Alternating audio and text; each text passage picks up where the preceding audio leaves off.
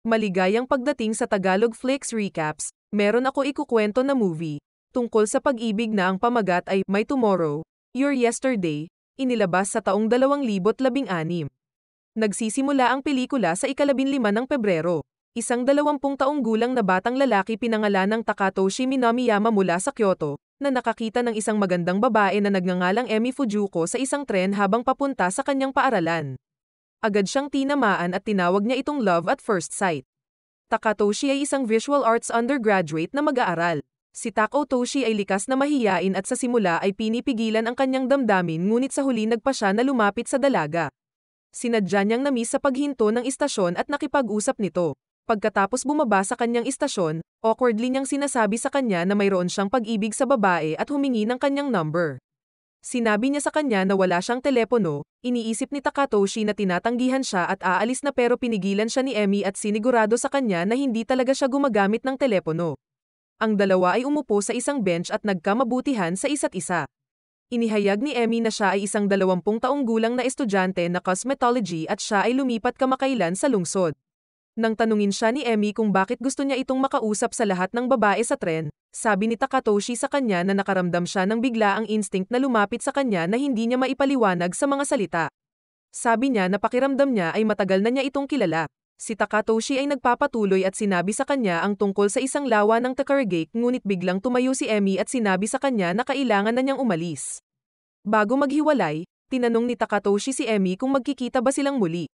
Ito sa ilang kadahilanan ay nagpaparamdam sa kanya ang babae at sinabi, hanggang bukas muli. Sa paaralan, sinabi ni Takatoshi sa kanyang matalik na kaibigan na si Shoichi Ueyama, na magaling sa mga babae, ang tungkol kay Emi.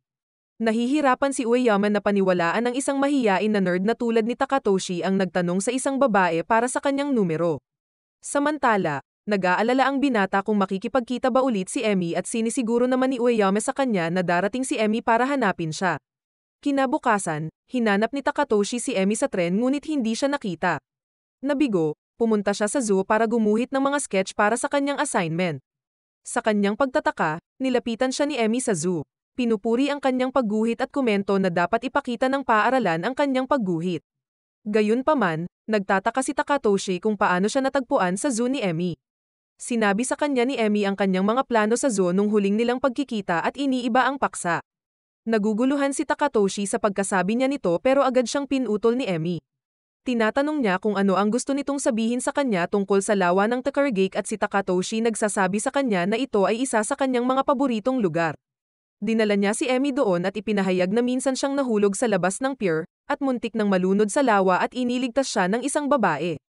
Ipinahayag din ni Emmy na siya rin ay muntik ng mamatay noong siya ay limang taong gulang. Ito ay kakaibang pagkakataon na pareho sila. Binigay ni Emi kay Takatoshi ang kanyang numero ng telepono bago maghiwalay ng landas. Sinabi ni Takatoshi kay Ueyama na nakuha na niya ang number ni Emi at hinihikayat siya ni Ueyama na yayain ito sa isang date. Si Takatoshi ay tumugon at tinawag ito ngunit hindi niya alam kung paano yayain si Emi. Si Ueyama ay nagsulat ng mga card para sa kanya at tinutulungan siyang yayain si Emi. Kinabukasan, nalaman ni Takatoshi na ang kanyang paaralan ipinakita ang kanyang guhit sa pisara. Sumusunod ang mga advice mula sa kanyang kaibigan, si Takatoshi ay pumunta sa lugar ng kanilang pagdatean ng mag-isa, para magawa niyang maging kumpiyansa hanggat maaari bago makipagkita ni Emmy. Dinala ni Takatoshi si Emmy sa parehong lugar at nagpapakita sa kanya ng isang kahanga-hangang oras. Pumunta sila sa isang pelikula at ang date ay talagang maayos.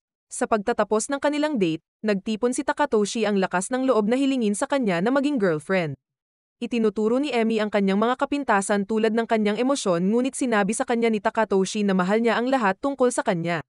Napaiyak din ang dalaga. Kinabukasan, nagpakita siya sa bahay ni Takatoshi upang tulungan siyang lumipat sa kanyang bagong apartment, kung saan siya sa wakas ay nakilala niya ang kanyang matalik na kaibigan na si Ueyama. Pagkatapos malipat ang mga gamit, si Ueyama ay umalis at nananatili si Emmy ni Takatoshi upang tulungan siyang ayusin ang kanyang apartment.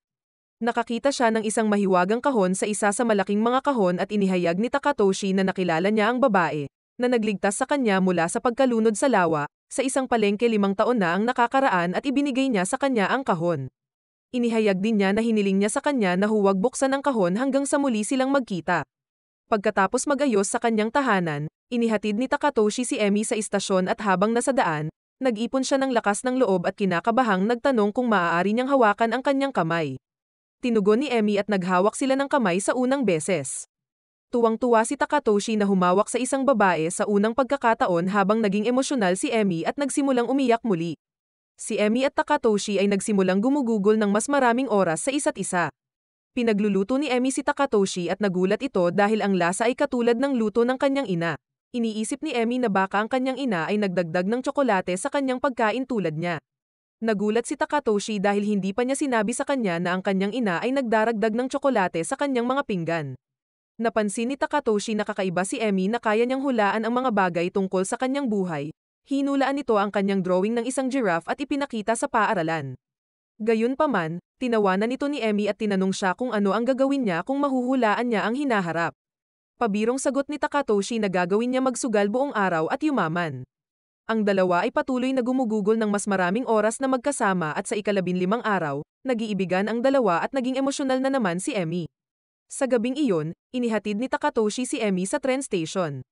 Pagka-uwi, nakita ni Takatoshi ang diary ni Emmy sa kanyang mesa at binuksan ito. Ang diary ay naglalaman ng mga hula sa hinaharap ng susunod na labinlimang araw. Ang unang petsa ay ikalabing-anim ng Marso habang ang huling ay ikaisa ng Marso. Sa isang petsa mula ikalabinlima ng Marso, isinulat ni Emmy na nakilala nito ang mga magulang ni Takatoshi. Parang si Emmy ay nagsulat ng kanyang diary pabaliktad sa panahon. Pagkatapos ay nakatanggap si Takatoshi ng isang tawag mula kay Emmy at inihayag niya na sinadya niyang iniwan ang diary sa kanyang mesa. Nangako siyang sasabihin sa kanya ang lahat at hinihiling sa kanya na makipagkita sa kanya pagkabukas sa silid-aralan sa umaga.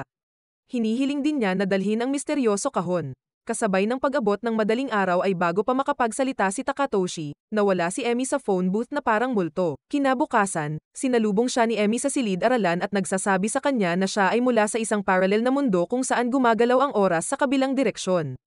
Sa ibang salita, kung ano ang hinaharap para kay Takatoshi ay ang nakaraan naman ni Emmy at vice versa. Ipinapaliwanag nito kung paano nalaman ni Emmy na ang larawan ni Takatoshi ay ipapakita sa kanyang paaralan. Naiwang nakatulala si Takatoshi ng paghahayag at hindi naniniwala sa alinman dito sa una, ngunit nang sabihin sa kanya ni Emmy kung paano niya nalaman ang tungkol sa kanyang lihim na recipe ng kanyang ina nang hindi pa siya nakikilala, nagsisimula siyang magtiwala sa kanya. Binuksan ni Emmy ang kahon ng babaeng nagligtas kay Takatoshi mula sa pagkalunod. Laking gulat ni Takatoshi nang makita ang isang larawan ni Emmy kasama ang kanyang mga magulang at siya. Ipinaliwanag niya iyon ang larawan ay mula sa kanyang nakaraan at ang kanyang hinaharap. Si Emmy ay pinagmamasdan si Takatoshi mula sa malayo noong bata pa at siya ang babaeng nasa hustong gulang na nagligtas sa kanya at ibinigay ang kahon. Nabubunyag din ito na ililigtas siya ni Takatoshi mula sa kamatayan noong siya ay nagiging limang taong gulang. Dahil ang kanyang mga alaala sa kanya ay kumukupas habang tumatagal at bumaliktad ang oras niya, iniingatan niya ang diary niya para maalaala si Takatoshi. Sinabi rin sa kanya na isang buwan lang sila magkasama tuwing limang taon dahil iyon ang universe ni Emmy at ang universe ni Takatoshi na magkatugma. Bukod dito, dalawampung taong gulang lang ang tanging oras ng kanilang mga tugma sa edad at ang kasalukuyang buwan ay ang huling pagkakataon kung saan maaari nilang ituloy ang isang relasyon. Sa kabila ng mabilis nilang pag-alis, sinubukan ni Emmy na i-enjoy ang sandali ngunit si Takatoshi nakakaramdam ng pagkontra tungkol sa peking kalikasan ng relasyon nila ni Emmy. Sinabi niya iyon sa kanya na hindi siya maaaring magpatuloy sa ganito. Sinasabing hindi niya gagawin ang nakasulat mula sa diary ng isang tao. Nakilala niya ang kanyang kaibigan sa laundry shop at nang hindi inilalantad ang anumang mga detalye, sinabi niya sa kanya na nilagpasan nila ni Emmy ang isa't isa. Inihambing ni Takatoshi si Emmy at ang kanyang sarili sa lupa at buwan na lumalayo ng apat na sentimetro mula sa isang taon. Gayunpaman, sinabi ni Ueyama na nagbibigay ito sa kanila ng higit na dahilan para mas ulit ang natitira nilang oras na magkasama. Biglang naintindihan ni Takatoshi ito sa dahilan kung bakit laging nagiging emosyonal si Emmy. Unang pagkita ni Takatoshi kay Emmy sa tren ay talagang huli ni Emmy, ngunit gumaganap pa rin si Emmy bilang nakilala niya si Takatoshi sa unang pagkakataon. Napagtanto ito, si Takatoshi ay naging wasak habang si Emmy ay nagsasakripisyo ng kanyang nararamdaman para lang manatiling may kaugnayan sa timeline.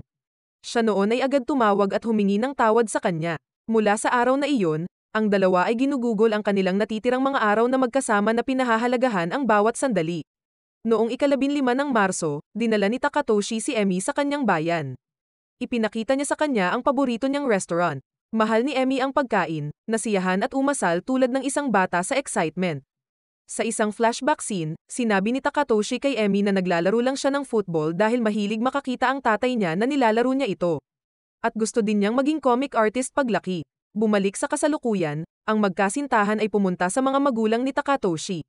Sila ay binibigyan ng malamig na pagtanggap ng kanyang ama ngunit tuwang-tuwa ang kanyang ina na makita ang kanyang nobya. Naghahanda ng hapunan ang ina ni Takatoshi para sa kanila at sinabi kay Emmy ang tungkol sa kanyang pagkabata.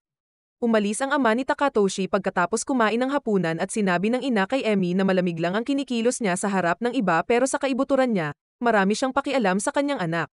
Pagkatapos ay kumuha sila ng larawan kagaya ng larawan sa kahon bago umalis.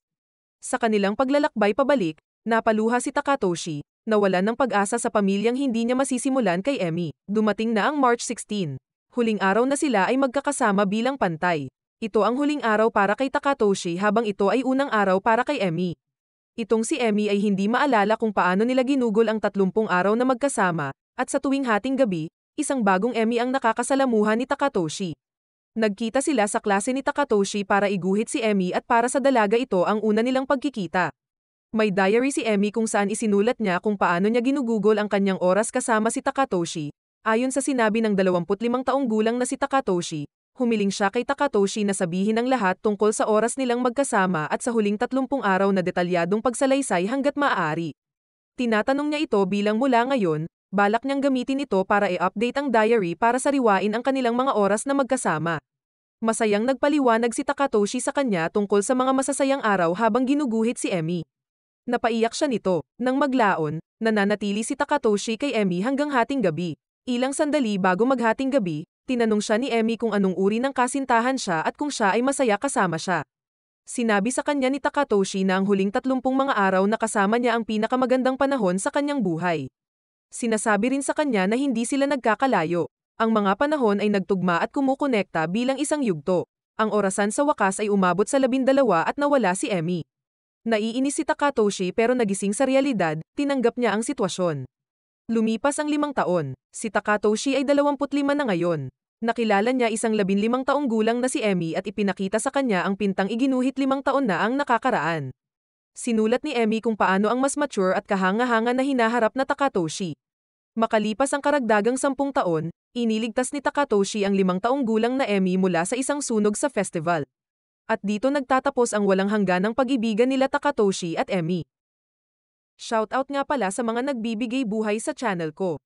Deking Maria Deking Marquez, Krisha and Kuya CJ, Fad Aaron Alwin, Nikukan, Japs Alfeller de Mesa, E JECKZJ Upsilon M, at Iwa Mampusti at Tina Reyes alias Ionic Hair. Sana nagustuhan nyo ito, mag-subscribe para sa higit pang nilalaman tulad nito at pindutin ang like button para matulungan din kami.